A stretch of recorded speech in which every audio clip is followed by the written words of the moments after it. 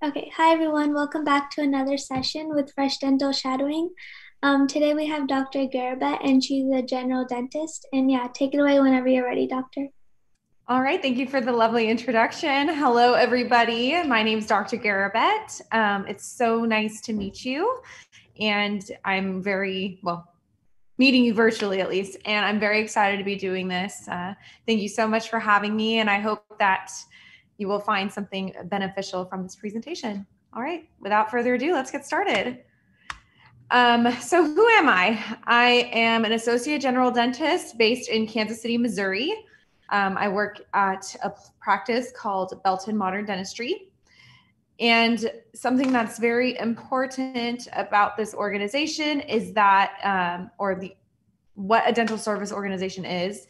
It's a group of dental practices that fall under one umbrella. So I currently work with the organization called Pacific Dental Services. Maybe you have heard of them. They're very big. Oh, coming. Okay. So, my educational background I got my Doctor of Dental Surgery graduate degree um, from the Herman Ostrow School of Dentistry of the University of Southern California. I am well, I guess not so fresh anymore because we have another class that's about to leave. So I still think I'm pretty fresh in the class of 2020. Um, I also went to undergraduate. I got a BA in biology with minors in chemistry and psychology from the University of Redlands. Born and raised in Southern California, never left. So this is my first time venturing outward. And I think you guys are all on the East Coast. So where are you located? Oh, I'm in California too. Oh, you're in California. Oh, okay. So we were just doing it based on Eastern time. Okay. Anyway, so um, my journey into dentistry, I guess it sprung at a young age indirectly. So my dad worked as the chief executive officer in a dental lab when I was growing up. And I didn't even realize it, but I was playing with wax ups before I even knew it. So that was something that we would do for fun when I went with my dad to work sometimes. And uh, I always knew I wanted to be a health professional. I really enjoyed the sciences, um, and I just loved the aspect of being able to help people. That was just something I've always been passionate about. I've always loved community service and giving back to my community. So, being a health professional is a great way to do that. So, I never really thought of doing any other career. Now, there are many ways to be a health professional. So, of course, uh, my first instinct was to become a medical doctor. But one of my cousins in Lebanon, she was in dental school at the time that I was visiting her back in 2010 and she told me I that she knew I wanted to be a doctor but she asked me if I had ever looked into dentistry and to be honest I was literally the worst patient growing up I was terrified of the dentist. So obviously, becoming a dentist never crossed my mind. But I gave it some thought and I had an open mind. I said, sure, I'll go with you to dental school. So she took me in with her one day and I fell in love with it and I never looked back. So, how to become a dentist? What does it take? There are, of course, some exceptions to this um, depending on where you go or where you want to go. But this is just the general picture, or at least how it was back when I applied back in 2015. Yeah, 2015. So the undergraduate degree um, is obviously required. Um, and there are some required and recommended prerequisite courses.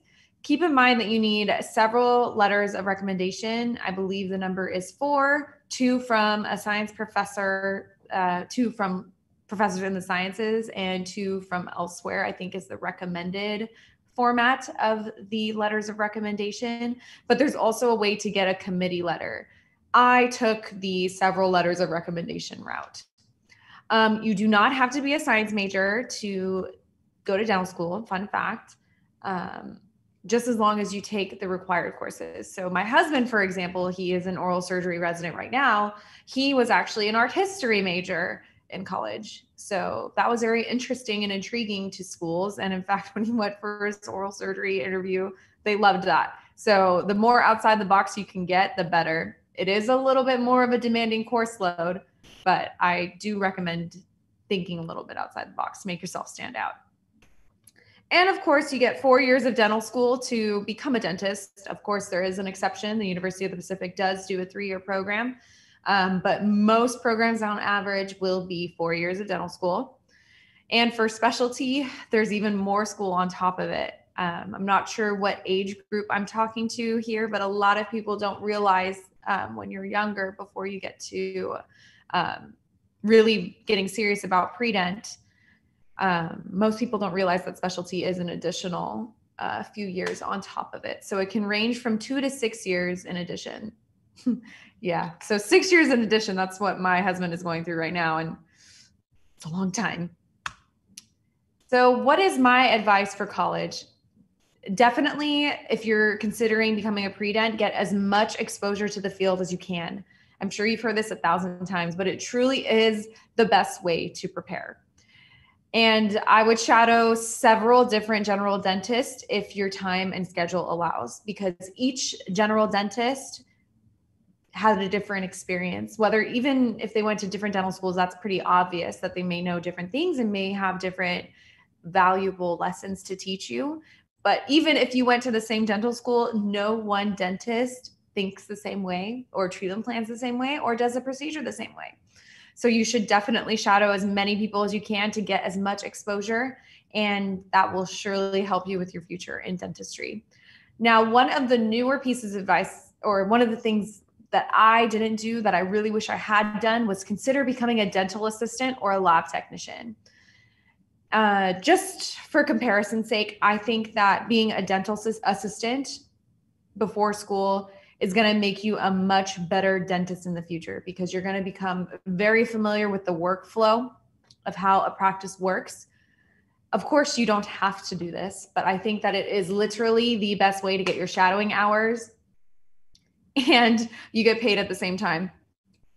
I just think it's really wonderful and more pre-dents should do it. We have several pre-dents in my practice that are um, sorry, I just got a call. We have several pre-dents in my practice that are actually dental assistants right now, and I can tell you that they are getting so much exposure. They get to ask me questions during procedures. I show them what cavity or caries feels like, and I give them a really big, good breakdown of what's going on. So I'm only one. I can only I can imagine that there are thousands of other dentists out there that would be willing to give you that same opportunity. So definitely recommend it. Now, a lab technician is the person that is fabricating the crowns and dentures or what have you, the apparatuses for dentistry for us. Now, it's not as clinical based, but if you want to work on getting your hand skills in shape, which I should have done because I definitely had to work very hard for my hand skills, this is a great opportunity for you to consider because not only are you going to get more hand skills and learn the principles of things that behind the scenes, that behind the scenes knowledge will give you the best edge to know how to make your clinical experience much better. And what I mean by that is you know how crowns are fabricated so you know what preparation analysis to do. So you know the struggles of the lab so your results are going to become much better. When your margin isn't clear, the lab technician is not going to be able to seal that margin on a crown. This is just an example. So these are the struggles that you can avoid future in your career, making your time and your job much more efficient. And the good, even better thing about this for a dental assistant, you don't even need training really if you have, depending on the state, of course. But if you have a dentist that is willing to take you in with no experience, they can train you legally in a lot of states. I know that Missouri, you don't have to have a dental assistant license to uh, to assist. Um, there are also really short programs to get trained on this. So you can get trained in a few months at a community college to become a dental assistant or a lab technician, also. Just a few short months and a little bit of investment of your money, and you're going to assist your future so much. So I would definitely consider that. Have a lot of extracurriculars. Um, some of my tips for this are that dental students are very eager to get pre-dents involved with or their community service projects. So I would definitely reach out to students, uh, dental students, to see if they can host you at the next community service event that's out there. Now, I know that COVID is kind of inhibiting both shadowing and community service opportunities, but I don't think it ever hurts to ask because I know that I was a very eager dental student and I was very happy to get more pre-dents involved with our community service. So definitely consider reaching out to dental students online or if you know anybody, don't be shy. We really appreciate it and we would love to have you involved. And if you don't know how to start reaching out to dental students, you can, of course, reach out to me. I will get you in touch with a USC dental student right now. Granted, I may not be as close to the earlier dental students, but I do like to keep in touch and I will definitely get you in contact with someone that can help you. So don't volunteer. This is another piece of my advice. In just dental experiences, schools do like to see a well rounded applicant that kind of circles back to that piece of advice that I offered with the considering a major outside of the sciences. Uh, the reason is because everybody will want to get involved. Everybody's doing hundreds of hours of shadowing. Everybody is doing this. Everybody's doing community service. How are you going to set yourself apart from the thousands and thousands of applicants if you're just doing what everybody else is doing? Um, so, something that really stood out about my application was I was very involved with pageantry and not very many dental school or dental student applicants are involved with pageantry.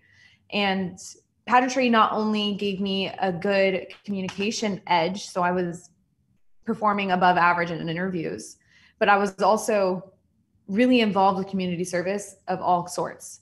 I volunteered at, I was a camp counselor for uh, our own family camp, which is a camp that is for families with a member affected by Down syndrome. So I worked with special needs patients a lot or special needs children a lot. patients, of course, my mind is just always about dentistry. Um, I've also did volunteering with Operation Santa Claus, where I helped students that were under or little um, middle school students who were underserved and couldn't afford a new outfit for school. Um, we helped them pick clothes out for that and that was all donation based um, at was it Kmart or Kohl's, one of those stores. So we got to volunteer with that. I fed the homeless. I put together food packages. I've done like all kinds of different volunteer opportunities. So if you want some creative ideas or something that you're passionate about, even animal shelters, I literally volunteered at an animal shelter weekly during college anything that you're passionate about, or if you need um, a spark of inspiration to get involved with your community, let me know. I have plenty of ideas and I will definitely help you out. So, the DAT study strategies, um, I'm not sure how relevant this still is. I took my DAT six, oh my God, six years ago for the second time. The first time I took it seven years ago. So, this might be very different now, but from what I understand, this is still pretty up to date.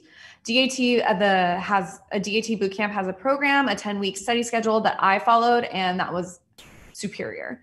I did also try Kaplan's DAT course, but that did not work for me because if you haven't taken a Kaplan course before, even though you're having a instructor lecture you on what you need to prepare, there's a lot of reading on the side. And I definitely did not do any of that reading. So if you're somebody that is usually better with like a lecture type environment. I would not consider Kaplan. I didn't think it was useful for me. I scored very poorly after preparing with Kaplan because there was so much self studying on the side. I would just rather cut out that lecture element and just do all of the self studying on my own. And DAT Bootcamp is very efficient at that. And if you just follow RE study schedule for 10 weeks, it is so doable and you will succeed. I brought up my perceptual ability score by like six points. So definitely consider it. So, what is life like as a dental student? Again, it is very dependent upon where you go. So, a student at University of Southern California is going to have a very different experience than a student at UCLA, even though we're just a few miles away from each other. Um, so at USC, this was my experience, and I understand that things are slightly changing in the clinical part, but that's so down the road. You don't even have to think about that. Um, but anyway, at USC, you have two years of pre clinic where you learn the fundamentals of tooth preparation, dentistry. Um, you gain your hand skills and you learn your biomedical sciences, which is just like the anatomy, some um, physiology, stuff like that. we used problem based learning to learn the biomedical sciences, which is very different from traditional lecture. I'm not sure if any of you have heard of PBL before, but it is very non traditional. So, for biomedical sciences like physiology, learning how the kidney works or how the lungs work and how your organs function together, um, we didn't have a teacher lecturing us, which is just kind of strange because that is what you're used to. Instead, you would be given a case where the they give you a case about a patient stating that they have something wrong with them. For instance, the one that's coming to my mind right now is uh, this patient has mouth sores and they're very painful, and she has these conditions. Uh, she also has a fever, stuff like that, and you're just like, whoa! And you're supposed to make you're supposed to break down the facts. Okay, so she has mouth sores, fever, and other symptoms. And then, so those are the facts of the case. Then you make ideas about why, how those facts can be related. So she is having cold sores or she's having sores in her mouth and fever due to an autoimmune condition. You don't have to be correct, but you're just formulating ideas as to why these things could be happening. And then you make a learning need based on those ideas. So I want to research um, autoimmune conditions of the oral cavity. That would be your learning need. So that is how you're learning all of your biomedical sciences for to prepare for your board exams. So keep that in mind if you want to look at going into USC because not a lot of programs offer this type of learning. And if you feel that you are good in study groups and you are an independent learner at the same time, this is very good. I think that problem based learning made me such a good independent learner and researcher because we had to research everything if we needed to know it for an exam, there was no real guideline. You had to be able to research it and be the expert in that. So I think that it is very good, especially now because I have become so efficient at researching information and breaking down and throwing away all of the stuff, all the fluff, and getting to what I need to. So you will continue to do research for the rest of your career as a dentist, by the way. Okay, so that is the first two years of dental school. Then you have two years of clinic where you practice procedures on your patients. You're no longer working on a mannequin. And it is quite honestly some of the most stressful times, but also the best of times because you're finally, you finally made it. You're doing what you have dreamt of for so long. So you have a series of requirements that you need to complete at the clinic. And um, so, for instance, you have a certain number of crowns you need to do, a certain number of fillings you need to do. You have to do a certain number of dentures um, to become competent in these procedures to practice as a dentist. Uh, you also have your rotations mixed in. So, for instance, at USC, they have several rotations where you work on kids, several rotations where you work on um, Skid Row. You there's several. I don't want to go through all of them, but you have rotations mixed into that. And the question I commonly get as um, pre-dents always ask me are, do you have a life as a dentist or as a dental student? And I say, always respond, yes, you can have a life, but you definitely have to be able to manage your time well. So while I was in my third year of dental school, I um, got back into my pageantry career for the last time. And I really just wanted so badly to compete at Miss International. So I competed at Miss California International, won the title, and then I went to a week of nationals and got first runner up. So that was kind of stressful for a while preparing for a pageant and being in school, but you can definitely do it if you just manage your time well. So, general dentistry. What is general dentistry? I mean, most people have met a, a general dentist, or at least I hope you have at this stage in your life. Um, but I always like to say it is what you make of it. You can do anything within the scope of dentistry from surgical extractions, sedations, implants, crowns, cleanings, you name it. If you love it, you can do it. There is no limit. Each and that makes your job really exciting. Truly, each day is very different and there is lots of versatility to this job. So, one of the main reasons I love being a general dentist is because I get to choose what I want to do. I'm not restricted to any one procedure. I can do a root canal and an implant in the same day, and it's amazing. So, definitely, if you want variety and you don't want to ever be bored, consider general dentistry. So, what's a typical day for me like? It really depends on where you're located and how your office is structured. So, for me, um, well, my second point is that patient demographics also play a huge day or a huge role in how your day looks. And that just means your patient population is definitely going to change things. So in my area in Belton, Missouri, um, it's kind of, I wouldn't say rural, it's a suburb of South Kansas City. A lot of people, though, from farmlands come to Belton because it's like the closest thing that they can get to in terms of like a city. So I'm catering to a certain type of demographic for sure. They're not as affluent as people maybe in Overland Park, Kansas, where that's very similar to like Beverly Hills, California, where they're wanting more aesthetic procedures and they don't have gum disease or lots of cavities. They're more so doing things for an aesthetic purpose. So in my office, this is how things are structured. We have a three column schedule, and that just means that we're able to fit patients into three different operatories and stagger them. So one of my columns is typically meant for new patients, one column is meant for production, and the last column is meant for continuing care exams. Production includes crowns, root canals, fillings, scaling, and root planing, which is just a fancy word for deep cleanings, extractions, honestly, pretty much anything, restoring implants, the list goes on. And yes, as a general dentist, you will see the children as well. So, what brings patients in to see us? As a general dentist, I see a wide, unlimited range of chief concerns. I work in a place that generally provides care to a blue collar, like I mentioned. So these are people that are working in industrial type environments, in factories or on farms. Um, so that makes life very exciting because you are dealing with a lot of um, the dental IQ may not be as high as somebody in um, a more affluent area.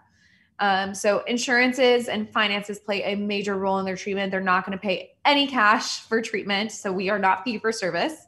Um, Another thing that is very important to keep in mind is that smoking here is very common. So they have major periodontal and restorative needs.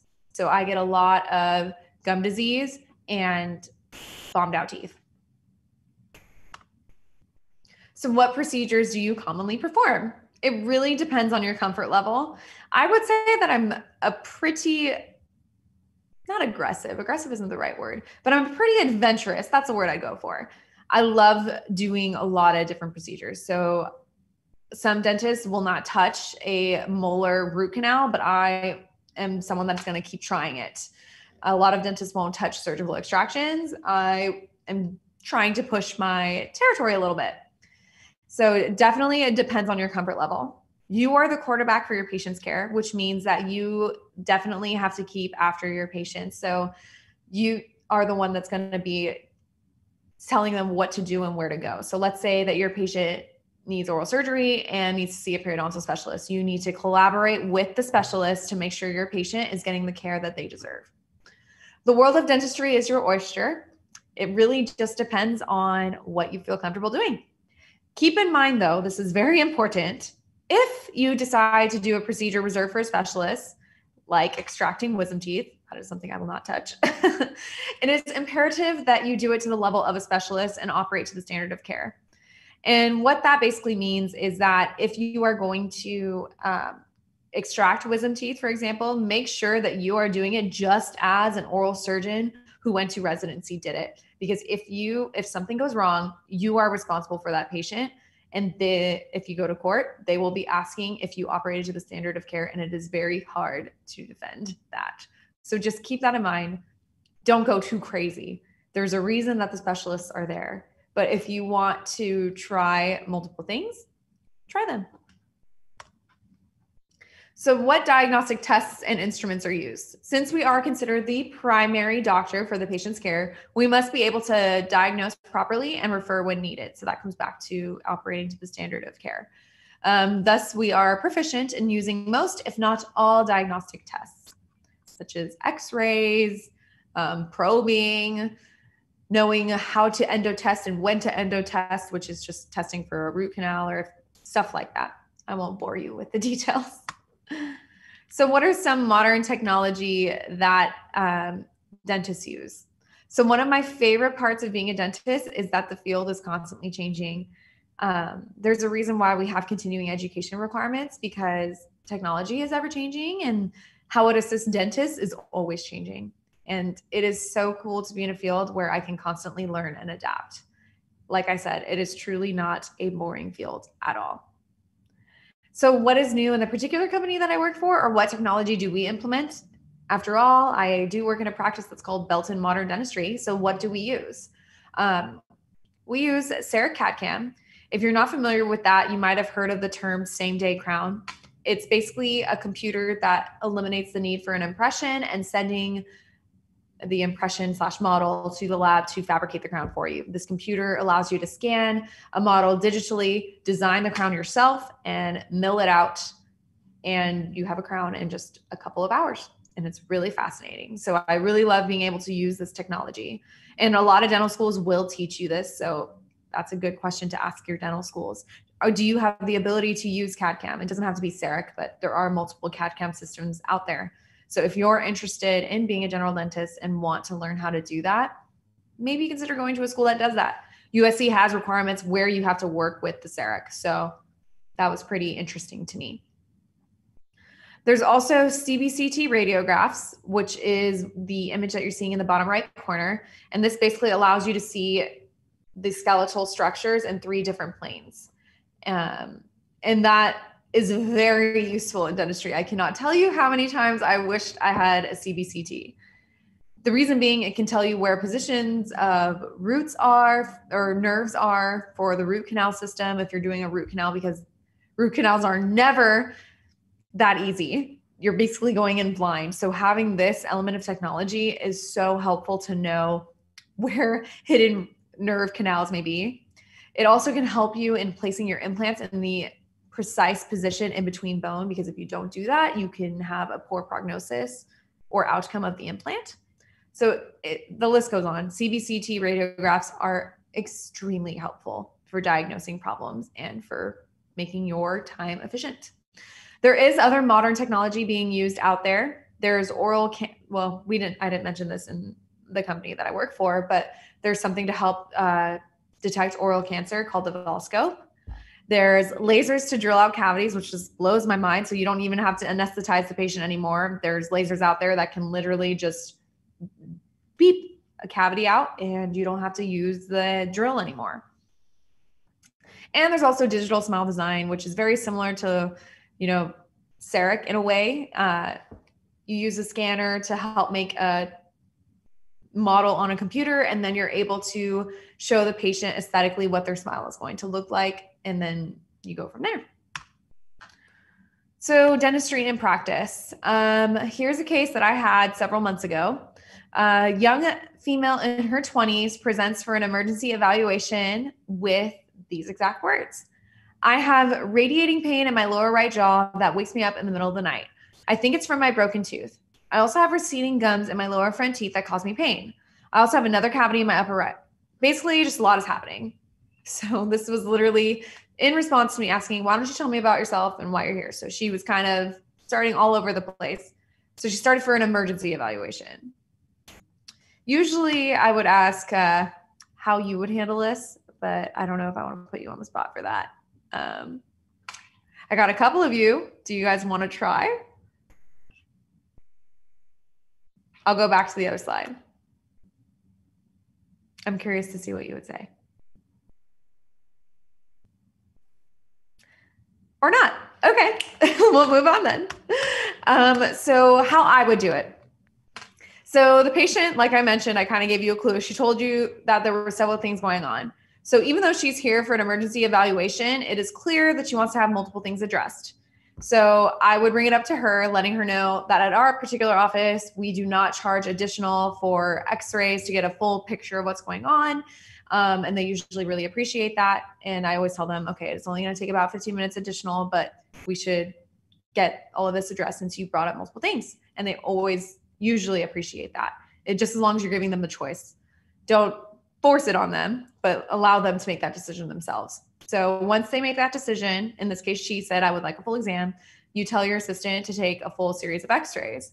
Then you conduct your full exam, diagnose all that you see in the x rays, take your gum pocket depth readings, which is assessing the level of gum disease if present, and then you do an oral cancer screening. Do not get distracted. Oftentimes, patients have a lot more going on than what they're telling you about, but always focus on what they want you to look at. Do not get carried away. You know, in this picture on the lower left side, so this isn't exactly accurate because this is the upper left side, but let's pretend that, you know, this was because this is essentially what it looked like when she came into me. So we see that she's got a cavity here. She's got a, a spiculocaculus here. She's got another cavity starting here, but and then she has a filling here. And then you're like, oh my gosh, I have so much going on. What am I going to tell her? She has maybe another cavity underneath here and here. And then she's got all this happening. Stop right there. you want to address what brought her in. She's in pain, right? It's likely from the big cavity that's here. So focus on the first thing that she talked about. Okay, so we got that handled. So we're probably going to need a root canal and crown here because it's so close to the nerve. This is the nerve. This is the enamel. This is the dentin. That's the cavity. So it's pretty close to the nerve. And x-rays, um, I always use this analogy. You know how in the car mirror it says that things are often closer than they appear? Same with cavities.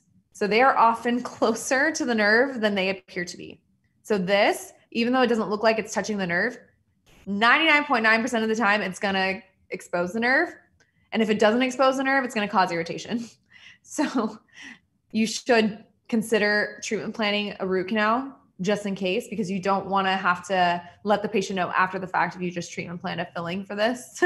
it's really uncomfortable to have to tell them to pay more money than less money. so I err on the side of caution with that.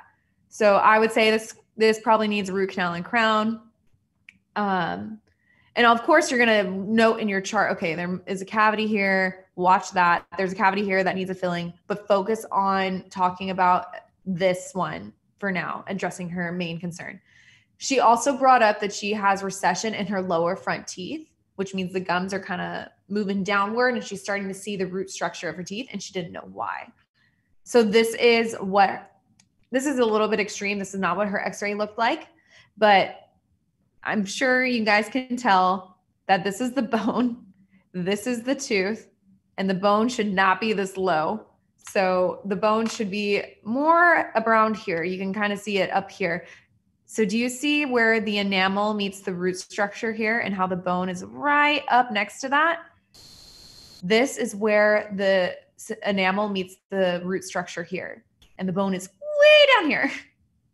so this bone is not supporting this tooth very well, meaning that she has this person has pretty severe gum disease in that area. And what causes gum disease? It's the accumulation of bacteria in the gums. And usually, and that's in the form of tartar. It doesn't always have to be, but this is not what a normal lower anterior tooth looks like. All of this is tartar or calculus. And that's what's causing the gums to and the bone to recede away. And that's what happened to her. She had a wall of calculus here because this area is very hard for patients to keep clean. So that's what's causing that. So you can tell her that's what's going on and what you recommend to do in that case, which would be a scaling and root planing or a deep cleaning where you numb them up and you remove that bacteria from beneath the gums. And that's addressing her other concern that she brought up. And then she also brought up another cavity. Um, so you might want to tell her that you see it and there is a cavity starting, but don't overwhelm them all at once. Focus on um, two main things because it starts to get overwhelming in terms of how they're going to afford this and time, how they're going to find the time to do this. So focus on here and focus on here. And then you can maybe think of another thing that she brought up, but that's it. I wouldn't go beyond that. And then start to address it as she starts to come along for her continuing care. So, again, discuss what you have found with her, um, starting with what brought her in. So, I always still get carried away. Like I said, I'm still new, and dentistry is always a practice.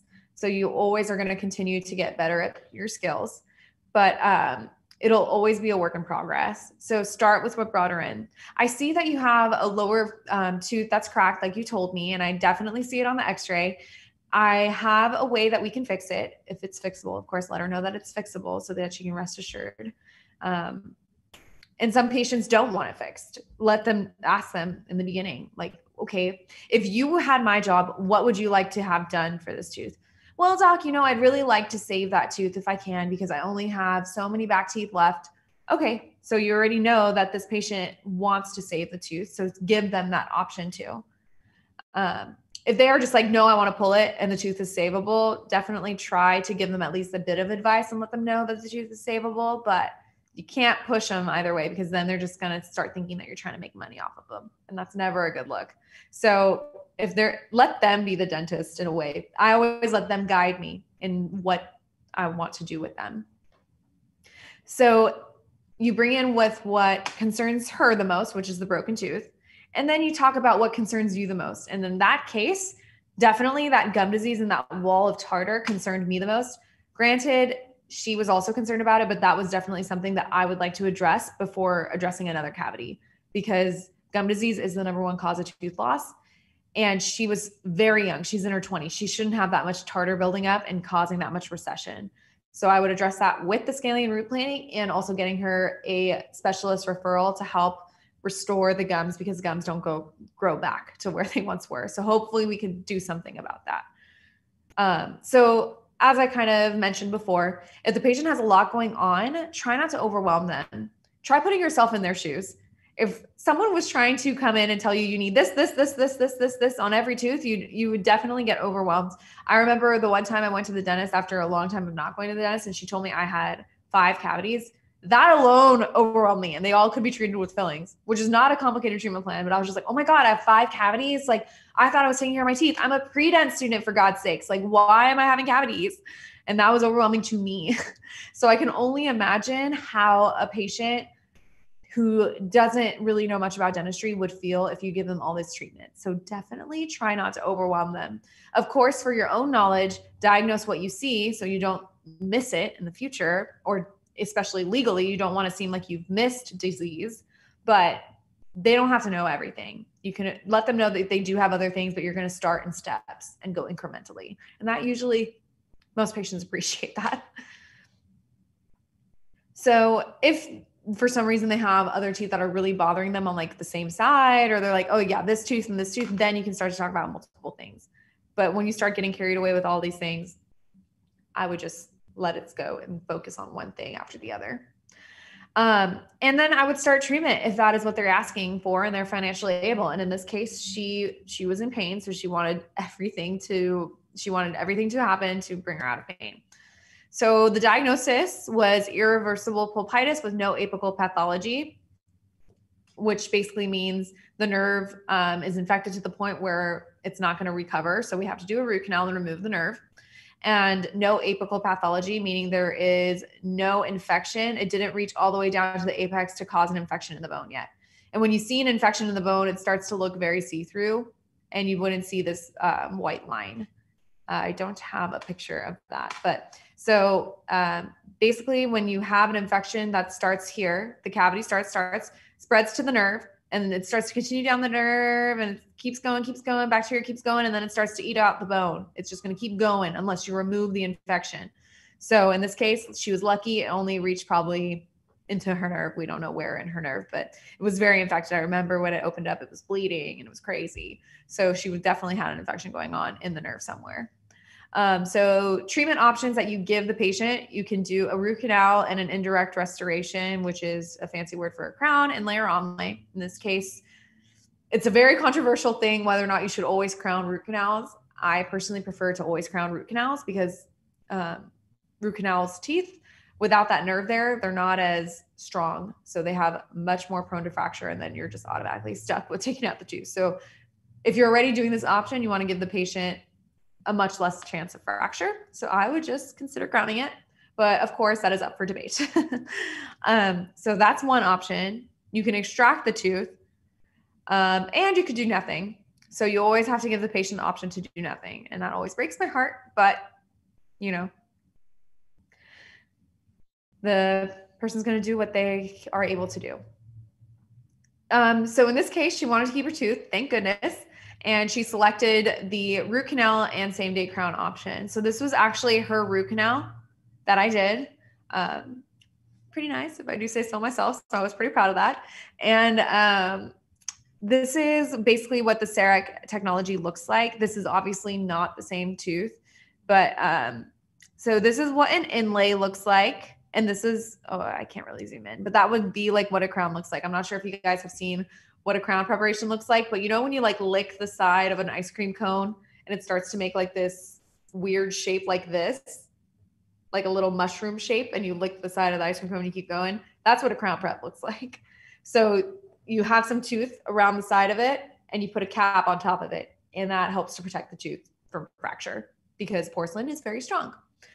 Um, in this case, uh, this is how you do it. So you prepare the tooth, you drill it down, make it prepared to have enough material to protect it. You scan it into the computer. So this is what the 3D model looks like that I was talking about. And then you design the crown by telling the computer where the tooth structure and the crown will meet. That's what you call a margin. So this is where the margin is here. This is where the margin is here. You see that? And the margin is um, a combination of preparing the tooth for the material and also um, eliminating the bacteria or cavity that's there. And then you tell the computer, okay, this is where my margin is. And in another picture that I had back here, you saw this is what the crown will design will look like. So I tell the computer, okay, I like this. I can modify it here if I don't like something. And then um, you tell the computer to print it out. And once it's printed out, depending on the type of crown you do, it could be tooth colored. It's it depends on the material, um, and you can just cement it then. Or in this particular case, um, they this material is called Emax, which is a lithium disilicate or glass material, and you put it into an oven to bake it to make it tooth colored. So right now it's purple, and once you put it in an oven for 15 minutes at like 450 degrees Fahrenheit or something crazy like that, or Celsius, I can't even remember. It's very hot, and it converts um, this to a tooth color and it makes it stronger. Um, so that's a case that I did that was pretty interesting and that's pretty routine. We do that multiple times a week, if not multiple times a day. So that's what in my practice, that's what a normal day looks like. Um, I also mentioned that I love doing community service. So I thought I'd bring up some community service trips that I did in dental school. So I was on student leadership for IUTA International, which is partnered with Rotary International. I'm not sure if any of you are involved with Rotaract or if you've heard of Rotary International.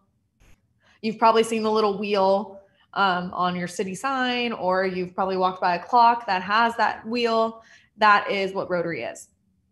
There's millions of members worldwide, and we partner up with that organization through USC. And we do international service trips along with local clinics all around Southern California, um, and where we provide free dental care to people who do not have access to it. We do cleanings, fillings, extractions, you name it. The only thing we can't really do are root canals and crowns because those typically require follow up, and you do not want to commit to a patient that you may not be seeing again. So, in my journey with uh, Rose uh, and with IUTA International, I went to Rosarito, Mexico three times. I went to Phuket um, my third year of dental school or starting my third year. And that was actually my first time working on a patient ever. That was my first time ever. And um, that was the first time I ever drilled on a tooth. Crazy. Absolutely wild. Um, and then I went to Panama City, Panama, which is here. This little girl, I thought she hated me because I think I pulled out one of her baby teeth. she definitely wasn't very happy with me. But after the procedure, I made sure to let her know that I was so proud of her and she gave me a really big hug. And it was just one of the most touching things ever. Um, so here are more pictures from this is in Thailand. Me as Miss California International working in Panama. This is also in Thailand. Um, so if you go to dental school and you have the ability to do some sort of international trip, highly recommend doing it. It was it's still one of the best experiences I've ever had in my life. Like nothing will ever compare to that. In conclusion, advice to our future dentists of the world. This is a quote that I found very intriguing and I think it is very important. So let's read it together. Like success, failure is many things to many people. With a positive mental attitude, failure is a learning experience, a rung on the ladder, and a plateau at which to get your thoughts in order to prepare to try again. I think this is very important. As a dentist, you have to be resilient. You are going to fail. 100%. You could be the best dentist in the whole world, but you are still not going to have every day be perfect. You will mess somebody's tooth up, guaranteed. You will make it so that you can't fix it. You're going to let some people down. I've let people down in dental school. I've let people down in private practice. It happens. I'm not the only one that's done it. And failure is inevitable, inevitable. But it's how you embrace that failure that's going to make you truly great and successful. So if you're in a place right now and you may not be doing as well in your chemistry class, you may not have, um, you're comparing yourself to your colleagues or your, your co-students and you're thinking, I'm not as good as them. I failed my chemistry test.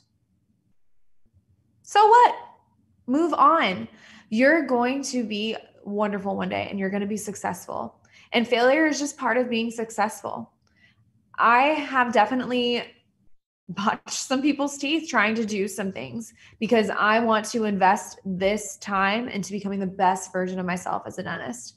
And the more t- things you fail, it just means that you're doing more of it and you have to embrace it and you have to be willing to to fail in order to succeed and you will all be so successful and i cannot wait to see how you all transform our profession i'm so excited for the future with leaders like you guys you are all embracing such adversity right now um, by talking to dentists trying to find opportunities that may not be there right now. But I'm so proud of you. Keep going. And I I'm just so impressed with the level and the caliber of our students and I cannot wait to see the future of our profession in your hands. In your more than capable hands. Are there any questions for me? All right, thank you, Dr. Garabet. That was an awesome presentation and um, really insightful. Yeah. Uh, so I think we can start with our questions now from the YouTube live chat as well as the Instagram, if that's okay with you. Of course. Okay. Um, so the first question was, why did you decide to work in um, like Missouri, and what factors do you think go into deciding where to practice as a dentist after you graduate dental school? That's a really good question. So, um, I initially didn't really think to move to Missouri. If you had asked me before Michael matched, I would have been like, nope. I was never going to leave Southern California. Um, I definitely loved Southern California, but I, I am an open minded person. Don't get me wrong. Um, but Michael, he wanted to be an oral surgeon and he matched in Kansas City. So I didn't really have a choice. I knew he was the one for me. We weren't married at the time. We were actually only dating for a year. So we did three years of long distance. Um, and I knew that he was the one for me. So I knew that I would be here eventually. And, um, you know, he brought me here. And I would say that it is the biggest blessing in disguise because being in Southern California, it is tough. There are a lot of dentists. Granted there's a lot of people but there are a lot of dentists and a lot of competition out there. Everybody wants to be that cosmetic dentist in beverly hills. What's going to set you apart from them? And it's hard. It's stressful. I mean even here it's stressful and there's always going to be competition everywhere but in southern california it's just that much tougher so i definitely think it's a blessing in disguise as a new dentist to be in a place where i don't really have to worry as much about my neighbors of course there's always going to be that competition but I love being here and you know, you can make pretty good money being out here in comparison and the money takes you a lot farther. Even though I'm technically getting paid the same amount of money I would have been getting paid in California, the dollar takes you a lot farther here. So you might be ha- having a happier lifestyle if you consider going somewhere that is not as populated like New York or California. And honestly, Kansas City is pretty cool. If you have questions about Kansas City, I love it here people are nice. And it is a beautiful city. It is a hidden gem in the Midwest. Trust me. If you have any questions and you want to consider going somewhere else, if you are at that stage, contact me. I am happy to help you figure out a good place for you. And if that happens to be Kansas City, I'd love to have you as my assistant. Just saying. okay, thank you. And then, um, what are your thoughts on private practice versus corporate dentistry and like kind of the pros and cons of each? That's a great question, also. Wow. Okay, so um, I looked into both options. Um, I had a private practice here that I wanted to work for, and I also looked into corporate. Now, if you had asked me while I was in dental school, I was not really for either option. I was also thinking about being a specialist. I mean, I was all over the map in dental school, and that's how you should be. You should be open minded. Um, the pros of working in a corporate dental office, I really hate calling it corporate because that makes it sound like we're just puppy mills of dentists, but we're not. Um, I think that working with a place like Pacific Dental Services, they call it private practice plus for a reason because it feels like a private practice, but with the support of a corporation behind you that gives you all the marketing help that you need, all of the other things that no dentist wants to deal with in terms of the business. And we get to focus on truly being the best dentist that we can be. It's not pushy, um, at least not in the office that I work for. Thank God they are not pushing me to do things that I'm not comfortable with. I get to jurisdict my own treatment. Now, that is the con that you will hear about corporate in general that they push you to make money. You're just a factory. Um, if you're not making money, you're in dis- you're disposable to them. I don't know about other places, obviously, because I've never worked at another place, but I have friends that work for other dental service organizations and they're happy too. I will say another good pro about working for a dental service organization is that you're going to have a constant flow of patients um, you will be doing a lot of procedures and seeing a lot more patients. There are some private practices that are like that, but all the private practices that I've shadowed, with exception of one, do not have the patient volume. And being an associate in a dental service organization is really great because you're all on the same rank. Um, they're not going to pick the cool procedures for the owner dentist to do.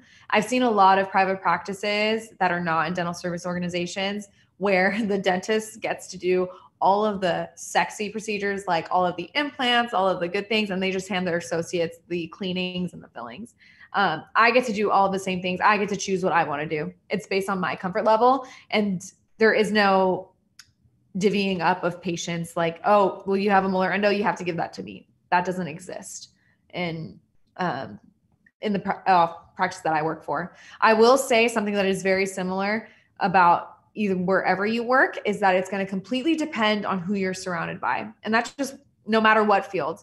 So my owner dentist is a wonderful, wonderful, wonderful mentor and wonderful owner dentist. Not every Pacific Dental Services practice, I don't think, is the same as that. I'm in a very nurturing environment and um, I'm very blessed. Um, but there are some where it's not the same as that. So keep that in mind. And same goes for private practice. Not every private practice doctor um, that wants you as an associate is going to treat you with that respect for sure. So it's all going to depend on your staff and your doctors. And you have to create the culture for yourself. Okay. Okay. And then this is this question is kind of going back to dental school. Um, what would you say was the hardest part of dental school at USC? Oh, um, so I'm not sure if this person is asking for a course in particular. But um, for me, what was the hardest part is the acclimation periods. And I had two of them, and I'm still going through it now, even adjusting to a new practice. So for me, change is hard. I embrace change, but it's very hard for me to deal with, and I get very stressed. So the first semester of dental school, miserable. I hated it. Even though the course load was easy for me, learning my hand skills was really hard and i was just so hard on myself because i would see i i also was seated next to some really talented some of the top people in my class. I think okay just to give you some perspective one of my okay so the person that sat two seats away from me was a lab technician for years and now is a faculty at usc already. That doesn't happen. So she's very talented. The person next to me was also one of the top people in our class, and she's in dental anesthesiology. Then there's me. There's another guy that's also really good at everything. He was an engineer, he was really smart, and he was also just naturally good at things. Person behind me is a prosthodontist resident. The other person is another prosthodontic resident. So I was just surrounded by people who are just amazing. And I was not amazing in school when I first started. I didn't have those hand skills. Um, so that was very stressful seeing people produce these beautiful fillings and I was like struggling. Um, so yeah, it was pretty hard. That was very hard for me. And then clinic too is really tough.